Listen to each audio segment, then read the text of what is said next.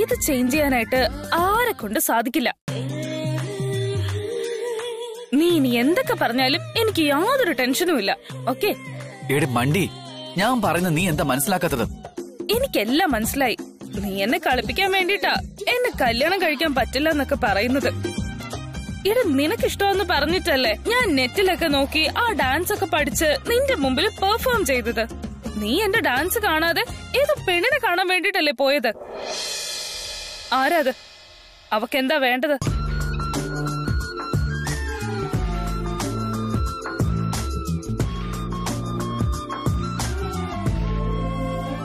അവളെനിക്ക് വളരെ വളരെ വേണ്ടപ്പെട്ട ഒരാൾ എന്നെക്കാളോ?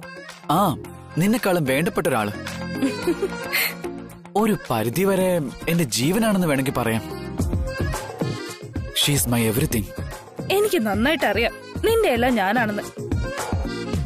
നീ ഓരോന്ന് പറഞ്ഞെന്നെ കളിയാക്കാൻ നോക്കുന്നല്ലേ ഇനി എത്ര നാൾ നീ എന്നെ ഇങ്ങനെ കളിപ്പിക്കും? നമ്മുടെ കല്യാണത്തിന് ശേഷം ഞാൻ നിന്നോട് എന്താ ചെയ്യുന്നെന്ന് കണ്ടോ? എന്റെ ചപ്പര്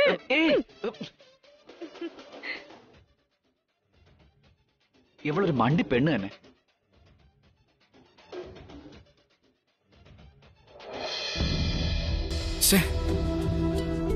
എന്റെ ബേർഡ് ഞാൻ ഇങ്ങനെയായി തീരുമെന്ന് വിചാരിച്ചില്ല. എന്റെ ബേർഡയുടെ അന്ന് തന്നെ ഇങ്ങനെയൊക്കെ സംഭവിക്കുമെന്ന് സ്വപ്നത്തിൽ പോലും കരുതിയില്ല ഏട്ടാ. ദൈവം ഒരു നല്ല ഗിഫ്റ്റ് തരുമെന്നാ വിചാരിച്ചത്. എന്നാ അതൊരു മോശം ഗിഫ്റ്റായിരുന്നു. ഇത്രയും വർഷം നടത്തിയ എന്റെ ബർത്ത്ഡേ ഫംഗ്ഷനിൽ നിന്ന് ഇന്നലെ നടത്തിയതായിരുന്നു കുറച്ചുകൂടി നല്ലത്. പക്ഷേ എന്താ ഇപ്പൊ പറയാ? രാജു അങ്കിൾ എങ്ങനെയാ മരിച്ചതെന്ന് ഒന്നും അങ്ങോട്ട് മനസ്സിലാവുന്നില്ല. ബ്രദ ആ രാജു അങ്കിൾ എന്റെയും ചെറിയച്ഛന്റെ കൺമുന്നി വെച്ചാ മരിച്ചത്. ഏട്ടാ ഇപ്പോഴും ആ ഇൻസിഡന്റ് എന്റെ കൺമുന്നിൽ നിന്ന് പോകുന്നതേ ഇല്ല. നോക്ക് അർജുൻ ഈ കാര്യോർത്ത് അമ്മ ഓൾറെഡി ആകെ ടെൻഷനായിട്ടിരിക്കുക എന്തൊക്കെ വന്നാലും നീ ഇനി അമ്മയുടെ അടുത്ത് പോയി ഈ വിഷയത്തെക്കുറിച്ച് സംസാരിക്കാൻ നിൽക്കണ്ട. ഒരു പക്ഷേ അങ്കിൾ മരിച്ചത് നീ നിന്റെ കണ്ണുകൊണ്ട് കണ്ടെന്ന് കൂടി പറഞ്ഞു കഴിഞ്ഞാൽ അമ്മ കൂടുതൽ പേടിച്ചെന്നും വരാം. സോ വേണ്ട. ആ പിന്നെ അമ്മയോട് മാത്രമല്ല മുത്തശ്ശിയോട് ഇതേപ്പറ്റി ഒന്നും സംസാരിക്കാൻ നിൽക്കണ്ട. മനസ്സിലായില്ലേ? ശരി ഏട്ടാ. അതിരിക്കട്ടെ. നീ കേക്ക് കൊടുക്കുന്ന സമയത്ത് രാജു അങ്കിൾ എന്തെങ്കിലും ടെൻഷനിലായിരുന്നോ? അങ്ങനെയൊന്നുമില്ല. പക്ഷെ രുദ്രൻ ചെറിയച്ചൻ പ്രകാശ് അങ്കിൾ രാജു അങ്കിൾ പേടിച്ചോടിന്ന് പറഞ്ഞത് കേട്ട ഉടനെ അദ്ദേഹം വല്ലതായിപ്പോയി അപ്പൊ എനിക്കും എന്തോ എന്തോ സംശയം തോന്നി ഏട്ടാ. ഞാൻ അങ്ങനെ ചെറിയച്ചന്റെ പുറകെ ഓടി. എന്നാ ഞങ്ങൾ രണ്ടുപേരും എത്തുന്നതിന് മുമ്പ് എല്ലാം അവസാനിച്ചിരുന്നു. ഞാനും രുദ്രൻ ചെറിയച്ചനും അപ്പോൾ ഹെൽപ്ലെസ് ആയിരുന്നു. അതുകൊണ്ടായിരിക്കും. രാജോങ്കലിന്റെ സമയം ശരിയല്ല അദ്ദേഹം സൂയിസൈഡ് ചെയ്താണെന്ന് ചെറിയച്ചൻ പറഞ്ഞത്. ഒരു പരിധിവരെ ചെറിയച്ചൻ പറഞ്ഞതും ശരിയാ. അത്രയും സന്തോഷമായിട്ടിരുന്ന ഒരാളും പെട്ടെന്ന് ഒരു നിമിഷത്തിൽ ഇങ്ങനെ സൂയിസൈഡ് ചെയ്യാന്ന് വെച്ചാ ബാഡ് ടൈം എന്നല്ലാതെ വേറെ എന്താ ഏട്ടാ പറയാ? ശരി. അത് ചിലപ്പോൾ സത്യമായിരിക്കും. പക്ഷേ എന്തിനാ ഏതിനാന്നൊക്കെ നീ ചോദിക്കണ്ട.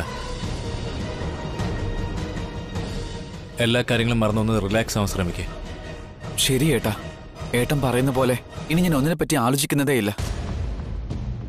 ഞാനിപ്പോ ടെൻഷൻ അടിക്കേണ്ടത് എന്റെ ലവ് എങ്ങനെ സക്സസ് ആക്കാന്നുള്ളതിനെ പറ്റിയാ. എന്റെ സ്നേഹത്തിൽ ഞാൻ വിജയിച്ച എല്ലാം നേടിയതുപോലെയാ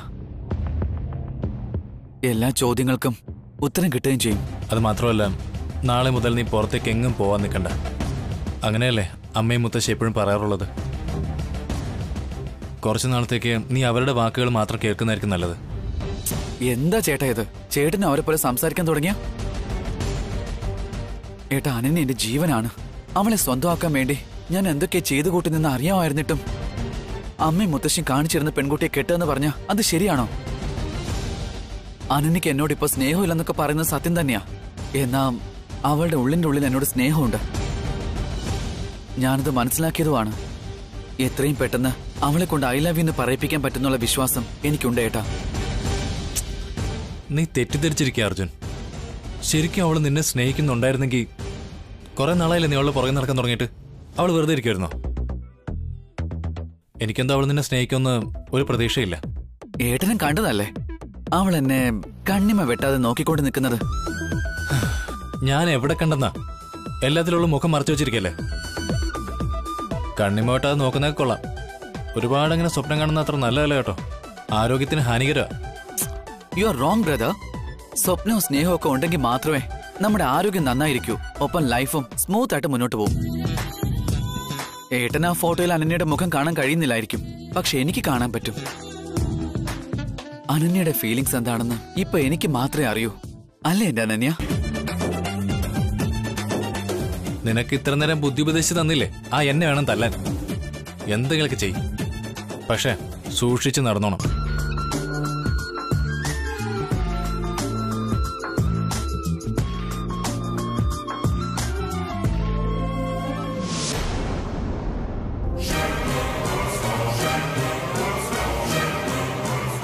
ഈ നാഗമാണിക്ക് എന്റെ കയ്യിലുണ്ടെന്ന്.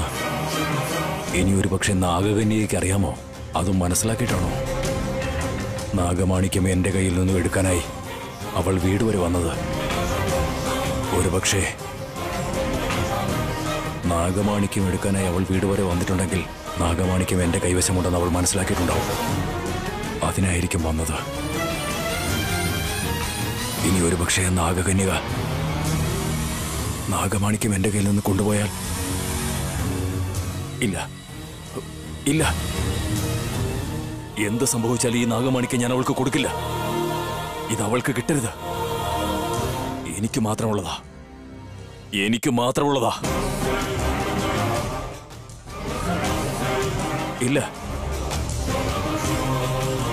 എന്റെ കയ്യിൽ നാഗമാണിക്യമുണ്ടെന്ന കാര്യം നാഗകന്യകയ്ക്ക് അറിയാനുള്ള ഒരു സാധ്യതയുമില്ല. ഒരുപക്ഷെ അവൾക്ക് അറിയാമായിരുന്നെങ്കിൽ എന്നെ പിന്തുടർന്നേനെ.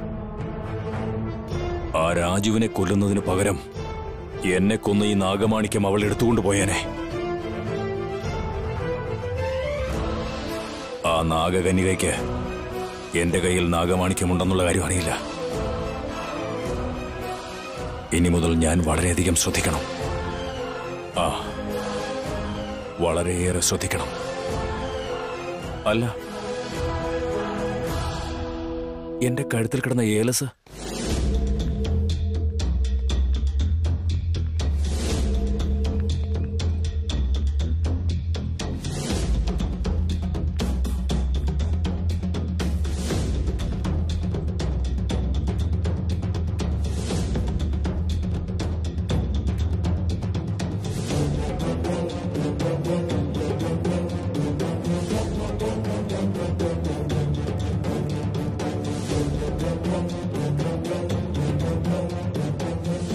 ഈ ഏലസ് എന്റെ കഴുത്തിലുള്ളിടത്തോളം കാലം. നാഗമാണിക്യം ആർക്കും എന്റെ കയ്യിൽ നിന്ന് കൊണ്ടുപോകാൻ സാധിക്കില്ല.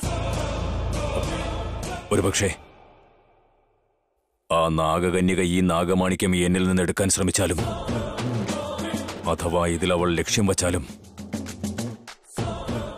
ഈ നാഗമാണിക്യം കൊണ്ട് അവളെ ഞാൻ കൊന്നുകളയും. ഇത് എന്റെ കയ്യിലുള്ളിടത്തോളം കാലം നാഗകന്യകയല്ല.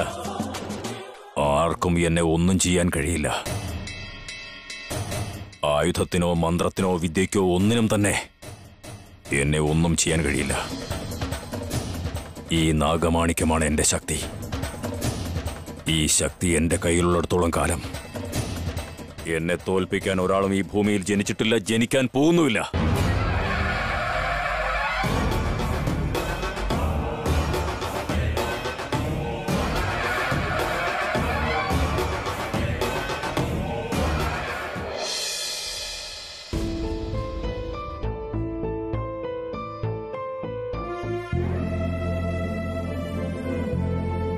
സരോജ? സരോജ? എഴുന്നേൽക്ക്. സമയം എന്താ എന്ന് കണ്ടോ? അയ്യോ ഒരുപാട് നേരമായി ഏട്ടാ. അനന്യ ഇന്നലെ രാത്രി വന്നില്ലേ? എനിക്കറിയില്ല. ഞാനും ഏടിനെ പോലെ വെയിറ്റ് ചെയ്തിരിക്കുമായിരുന്നു ഞാൻ എപ്പോഴാ ഉറങ്ങിയെന്ന് പോലും അറിയില്ല. അവൾ വന്നോ ഇല്ലെന്ന് പോലും എനിക്കറിയില്ല. ഞാനും അതെ സരോജ. അവൾ ഇന്നലെ രാത്രി വരുമെന്ന് വിചാരിച്ച് ഇവിടെ തന്നെ വെയിറ്റ് ചെയ്യായിരുന്നു. അവൾ വന്നില്ല. ഞാനും എപ്പോഴാ ഉറങ്ങിയെന്ന് ഒരു പിടിയില്ല. എന്നുവെച്ചാ അനന്യ രാത്രി വീട്ടിലേക്ക് വന്നില്ലേ ഏട്ടാ? അവൾ ഇതുവരെ വന്നിട്ടില്ലെന്ന് എനിക്ക് തോന്നുന്നത്. എന്താടാ തോന്നുന്നു എന്നൊക്കെ പറയുന്നേ? അവൾ ഇതുവരെ വീട്ടിൽ വന്നിട്ടില്ല. അല്ല രാത്രി മുഴുവൻ ഉറക്കമൊന്നുമില്ലാതെ പുറത്തു പോയിരിക്കുന്ന അവൾക്ക് വേണ്ടി നിങ്ങൾ ഇത്രയും കാത്തിരിക്കുന്നുണ്ടല്ലോ. നിങ്ങൾക്ക് കുറച്ചെങ്കിലും ബുദ്ധിയുണ്ടോ? അമ്മ എന്തൊക്കെയാ പറഞ്ഞോണ്ടിരിക്കുന്നേ വീട്ടിൽ നിന്ന് പുറത്തേക്ക് പോയത് ഞങ്ങളുടെ മകളാ. അവൾ തിരിച്ചു വന്നില്ലെങ്കിൽ അച്ഛനും അമ്മയ്ക്കും ടെൻഷൻ ആവില്ലേ? അത് എന്ത് പെണ്ണാണെന്നോ ഏത് അച്ഛനമ്മയാണെന്നോ ഞാൻ നോക്കിയിട്ടില്ല. അവൾക്ക് പുറത്തു പോണെന്ന് തോന്നുമ്പോ പറയാതെ പോകും അവൾക്ക് തോന്നുമ്പോ തിരിച്ചു വരും. നിങ്ങളാണെങ്കിലോ അവൾ എവിടെ പോകുന്നു എന്ത് ചെയ്യുന്നു എന്നൊന്നും ചോദിക്കാറ് പോലും ഇല്ല അവൾ എങ്ങോട്ടെങ്കിലും പോകുന്നു എന്ന് പറയുമ്പോ വെറുതെ ഇങ്ങനെ ഇരുന്ന് തലയാട്ടുന്നതല്ലാതെ നിങ്ങൾക്ക് വേറൊന്നും അറിയില്ല. അല്ലമ്മേ ഇപ്പൊ അമ്മ ഇങ്ങനെയൊക്കെ പറയുന്നുണ്ടല്ലോ. അമ്മ അവളുടെ കൂടെ പോവാന്ന് പറഞ്ഞല്ലേ പോയത്? എന്നിട്ട് അമ്മ എന്തിനാ തിരിച്ചു വന്നത്? അവളുടെ കൂടെ തന്നെ അമ്മ പോയിരുന്നെങ്കിൽ അവൾ എവിടെയാ പോയത്? എന്ത് ചെയ്യുന്നു എന്നൊക്കെ അറിയാമായിരുന്നു. രാത്രി ലേറ്റായി പോയപ്പോലും അമ്മയ്ക്ക് തന്നെ അവളെ കൂട്ടിക്കൊണ്ടു വരായിരുന്നു. അതൊക്കെ പോട്ടെ. അവളുടെ കൂടെ പോവാന്ന് പറഞ്ഞല്ലേ പോയത്? എന്നിട്ട് അമ്മ എന്തിനാ തിരിച്ചു വന്നത്?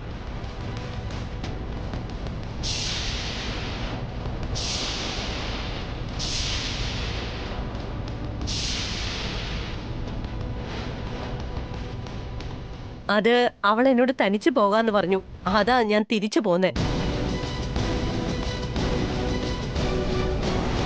സരോജ രാത്രി നമ്മൾ ഉറങ്ങിയതിനു ശേഷം അനന്യ വന്ന് റൂമിൽ ഉറങ്ങുമായിരിക്കോ. ഞാൻ നോക്കിട്ട് വരാം. നീ ഇരിക്കേട്ടാ നിക്കേട്ടാ ഞാനും വരുന്നു. വാ.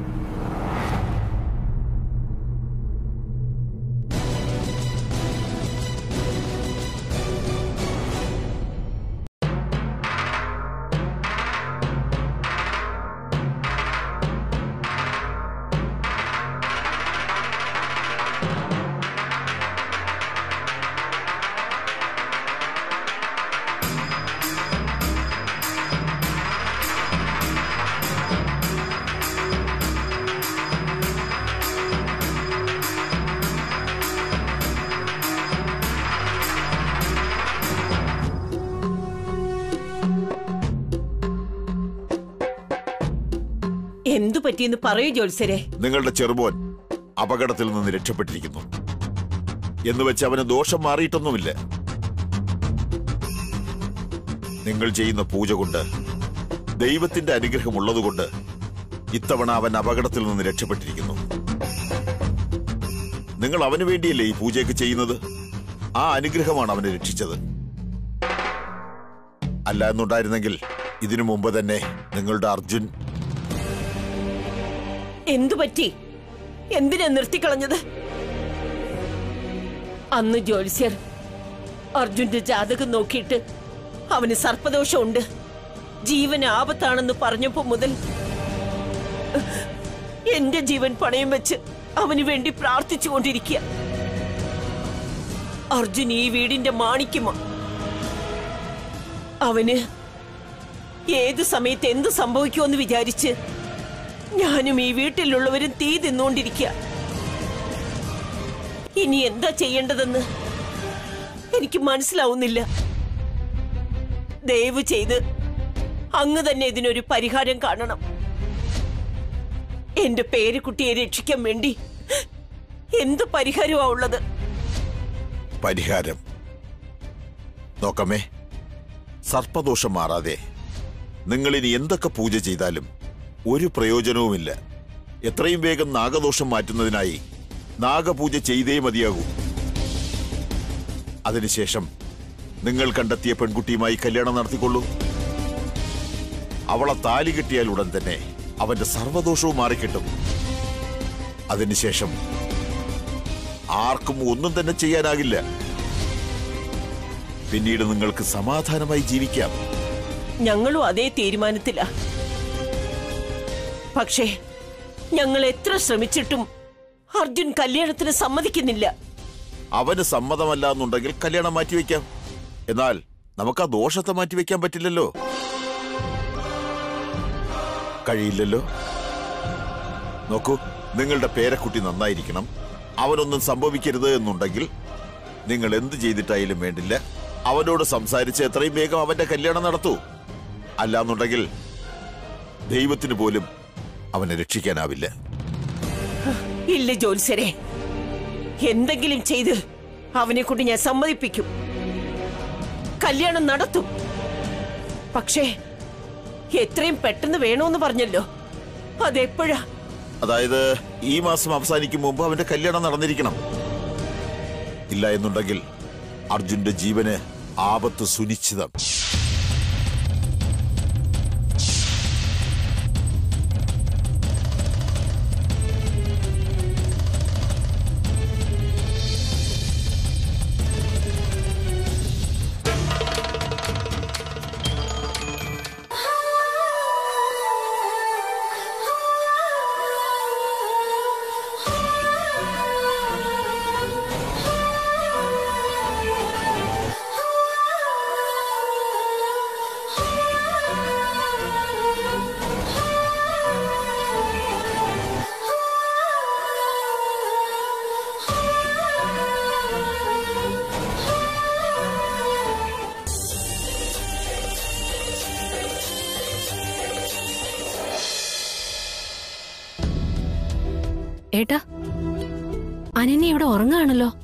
നമ്മൾ ഇവൾ വന്നില്ല എന്ന് വിചാരിച്ചിരിക്കുകയായിരുന്നില്ലേ?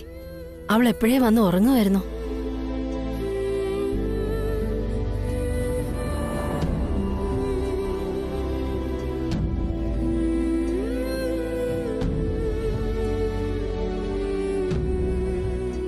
അമ്മേ നിങ്ങൾ? അതെ നിന്യ. രാത്രി ഏറെ നേരമായിട്ട് നിന്നെ കാണാത്തോണ്ട് നീ എപ്പോ ഒരു നോക്കി നോക്കി ഞാൻ അറിയാതെ ഉറങ്ങിപ്പോയി. അതെ അനന്യ. നീ രാത്രി എപ്പോഴാ എത്തിയത്? നീ രാത്രി വന്നത് ഞങ്ങൾ അറിഞ്ഞതേയില്ല മോളെ. ഞാൻ രാത്രി തന്നെ എത്തിയല്ലോ. നിങ്ങൾ രണ്ടുപേരും സോഫയിൽ ഉറങ്ങുമായിരുന്നു നിങ്ങളെ വെറുതെ ശല്യം ചെയ്യേണ്ടെന്ന് കരുതി ഞാൻ ഉറങ്ങാനായിട്ട് വന്നു. ഒരുപക്ഷെ നിങ്ങളെ ഉണർത്തണമെന്ന് ആ സമയത്ത് എനിക്ക് തോന്നിയില്ല. അയ്യോ അങ്ങനെയൊന്നും അല്ല മോളെ. നീ രാത്രി തന്നെ എത്തിയല്ലോ. ഇപ്പൊ ഞങ്ങൾക്ക് സമാധാനമായി. അതെ അനന്യ. നിന്നെ ഇതുവരെ കാണാത്തോണ്ട് ഞങ്ങൾ ഭയന്നിരിക്കുമായിരുന്നു ഇപ്പൊ നിന്നെ കണ്ടപ്പോഴാ ഞങ്ങക്ക് സമാധാനായത്.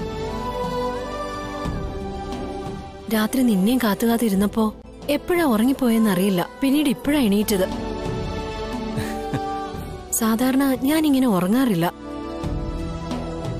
അനന്യേ മോൾ ഇന്നലെ രാത്രി ലേറ്റായല്ലേ ഉറങ്ങിയത്? കുറച്ചു നേരം കൂടെ കിടന്ന് ഉറങ്ങും മോൾ. എന്നിട്ട് വന്ന് ഭക്ഷണം കഴിച്ചാൽ മതി. അനന്യ കഴിക്കാൻ എന്തെങ്കിലും വേണമെങ്കിൽ പറഞ്ഞാ മതി. ഞാൻ ഇങ്ങോട്ടേക്ക് കൊണ്ടുവരാം. കുറച്ചു നേരത്തേക്ക് റെസ്റ്റ് എടുക്ക്?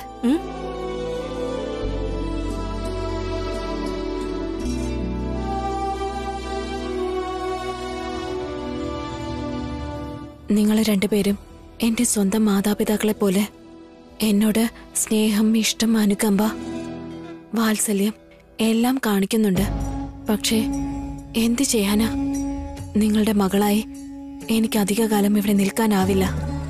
എന്റെ മാതാപിതാക്കളെ വധിച്ച ശത്രുക്കളെ തേടിച്ചെന്ന് അവരെ വധിക്കേണ്ടതുണ്ട്.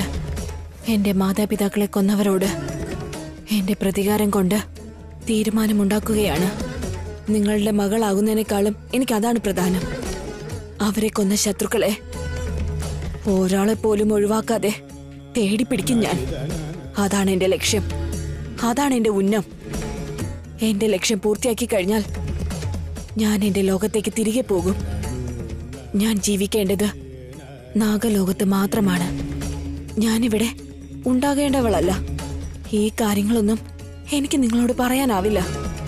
ഞാൻ നിങ്ങളോട് ചെയ്യുന്നത് ശരിയല്ല. നിങ്ങളുടെ സ്നേഹത്തിനൊത്ത് പ്രവർത്തിക്കാൻ എനിക്കാവില്ലെന്നറിയാം. ആ കാരണത്തിന് ഞാൻ നിങ്ങളോട് ക്ഷമ ചോദിക്കുന്നു. ദയവ് ചെയ്ത് നിങ്ങൾ എന്നോട് ക്ഷമിക്കണം.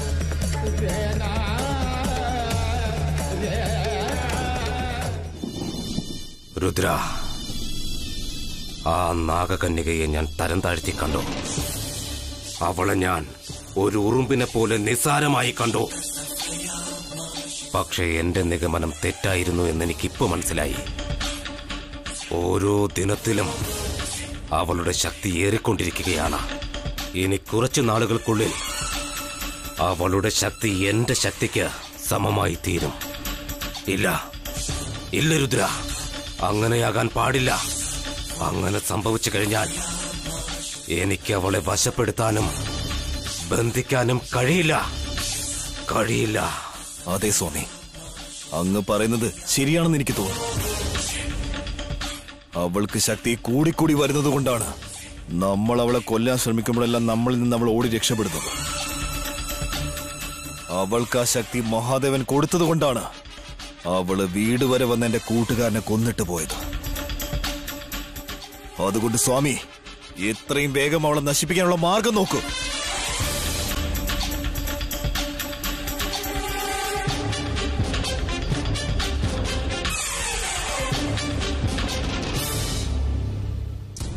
ജയ് മഹാകാല!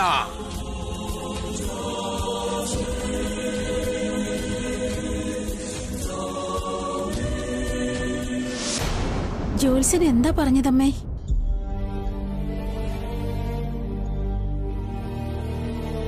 ഞാൻ പറയാം വാ. അല്ല അർജുൻ എവിടെ?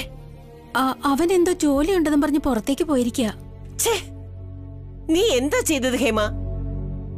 അവനെ പുറത്തേക്ക് പോകാൻ എന്തിനാ അനുവദിച്ചേ? എന്താ അമ്മ ഇങ്ങനെയൊക്കെ സംസാരിക്കുന്നേ? ഇപ്പൊ എന്തു പറ്റി? അവൻ എന്നത്തെയും പോലെയാ പുറത്തു പോയിരിക്കുന്നത്. ഇതെന്താ ഹേമ? നീ എന്താ പറയുന്നേ?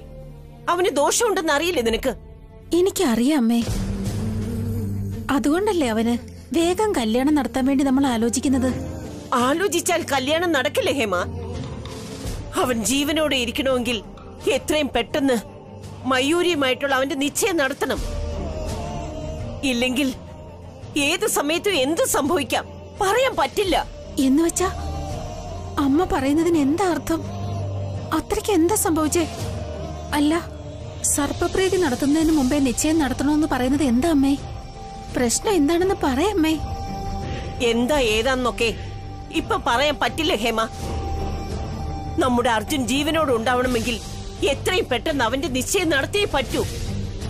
നിന്റെ മോനാണെങ്കിൽ ഒഴിവ് കഴിവുകൾ പറഞ്ഞ് കല്യാണം വേണ്ടെന്ന് പറയുന്നു. അങ്ങനെയാണെങ്കിൽ കല്യാണം എങ്ങനെ നടക്കും? അതുകൊണ്ടാ ഞാൻ ഇങ്ങനെ ഒരു തീരുമാനം എടുത്തത്. എത്രയും പെട്ടെന്ന് തന്നെ മയൂരിയുമായുള്ള അവന്റെ നിശ്ചയം നടത്തിയിരിക്കണം. പെട്ടെന്നെന്ന് പറയുമ്പോ എന്ന് നടത്തണോന്ന് അമ്മേ? പറ്റുമെങ്കിൽ ഇന്ന്. ഇന്നോ? ആ ഇന്നെന്ന് പറഞ്ഞാൽ ഇന്നല്ല. ഞാൻ പറയുന്നതൊന്ന് മനസ്സിലാക്ക്. നമ്മൾ എത്രയും പെട്ടെന്ന് നടത്തണമെന്നുള്ളത് അപ്പൊ നിനക്ക് മനസ്സിലാവും. എനിക്ക് മനസ്സിലാവുന്നുണ്ടമ്മേ. പക്ഷെ എന്റെ പേടി അതൊന്നും അല്ല.